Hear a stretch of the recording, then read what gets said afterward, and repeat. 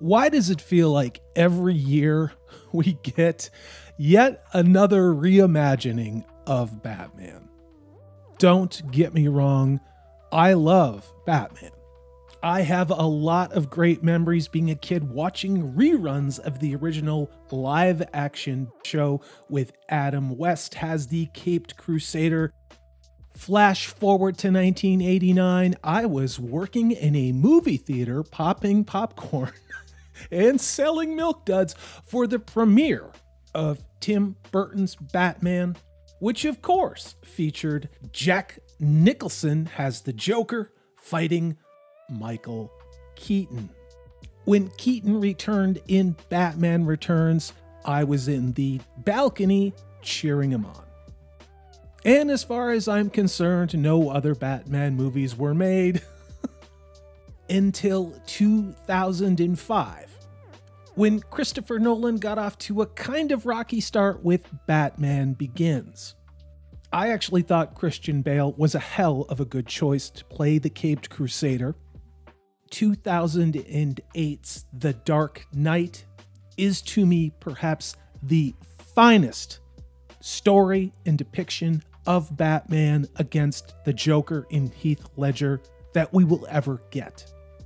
I was extraordinarily skeptical of Ben Affleck, and it really wasn't until last year's Snyder Cut of the Justice League that I became 100% convinced that Ben Affleck absolutely was Batman the way he needed to be played. I would be very happy, as a matter of fact, if we were going to get Ben Affleck again, maybe as a more mature Batman, Batman in some of the more advanced storylines, because I think he has done a great job of capturing that character.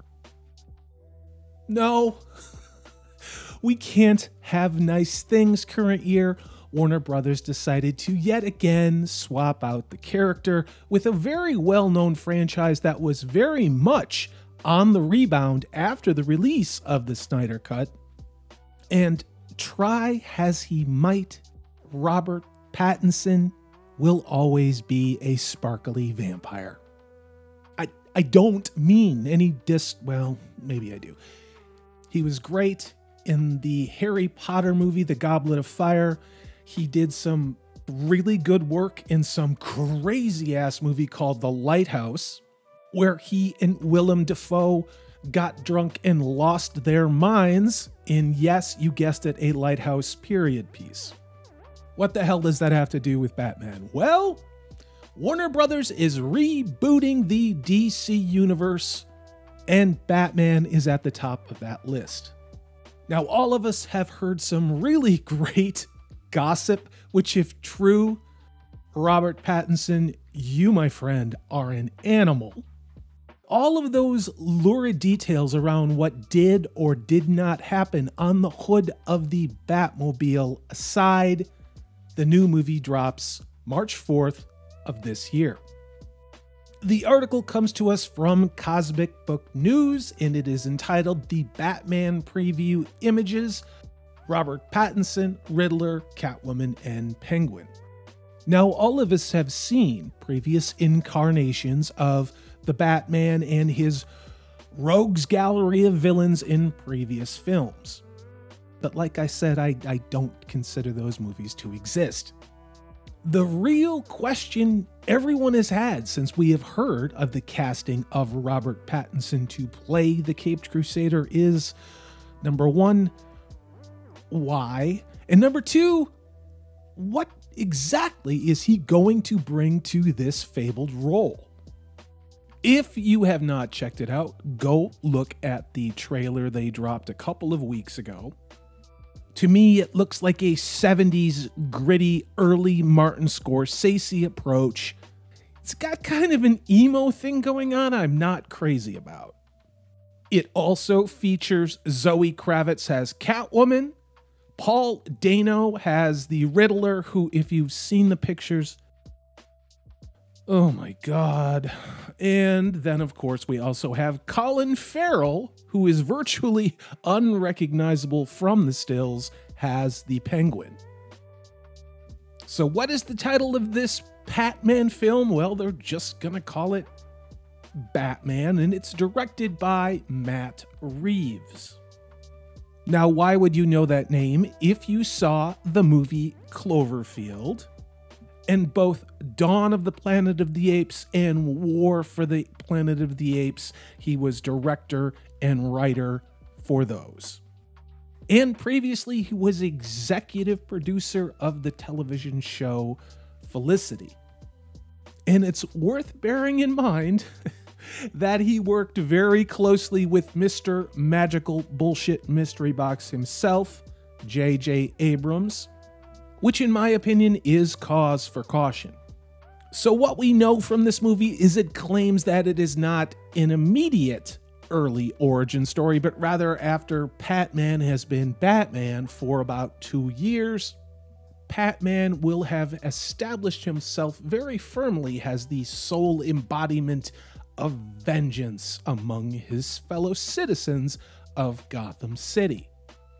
His trusted manservant, Alfred, is being played by Andy Serkis, who, of course, you know from playing Gollum in the Lord of the Rings movies, as well as his own directing and writing and acting work. Lieutenant Gordon will be played by Jeffrey Wright, who, let's be honest, has been in so many damn things I don't need to tell you who he is. So I'm not going to go fully into spoilers, I'm just going to give you an overview.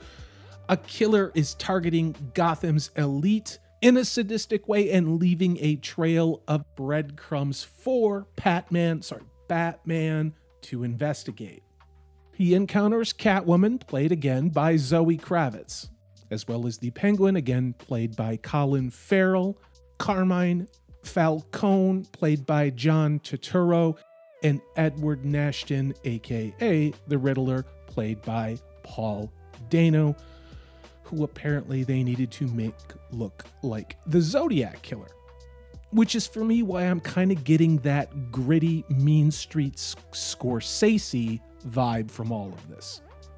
Again, if you haven't seen it, please go check out the trailer. And I'm not shilling for anybody. I just would love for you to check that out and then leave a comment on this video. Now, I have been suspect of all of this for a long time. I, there's a lot of damn drama that went on with this production, a lot of rumors where Robert Pattinson was almost fired. There was the thing with him and let's just say Catwoman potentially getting it on on the Batmobile. And then, of course, this spread, I think it was an Esquire magazine, where Robert Pattinson was either doing an epic troll of all of us Batman fans or being a manifestation of everything all of us thought of him before this when he said he wasn't working out or doing anything to get in shape or ready to play the iconic role of Batman. And of course, that triggered a lot of people that I follow and watch on YouTube. Where do I stand on all this? I don't have high expectations. And my reason why is not limited to Robert Pattinson. It has to do with Warner Brothers being probably, in my opinion, the most incompetent, idiotic, shooting self in foot studio out there. Do you all remember when the Snyder Cut was released? Now, I am not a big Snyder person, but damn, I loved the Snyder Cut of Justice League. What did Warner Brothers do within 48 hours of all of the fans going to HBO Max to watch it and crashing their servers? Well, what they always do in current year Hollywood, they called us istophobes and right wing, and you know the playbook. It has been a long time since we put up with the flack over not liking what The Last Jedi was, and yet they keep using that same busted ass playbook. Will the movie be woke? I don't know. Probably. Will Batman, I mean Batman, be a beta? I don't know. I hope not.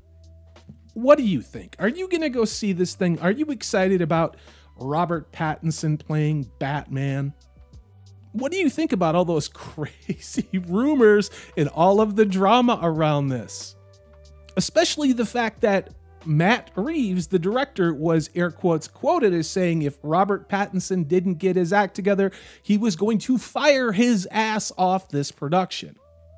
Is this all just press release churn to generate interest in the movie, or was this thing troubled?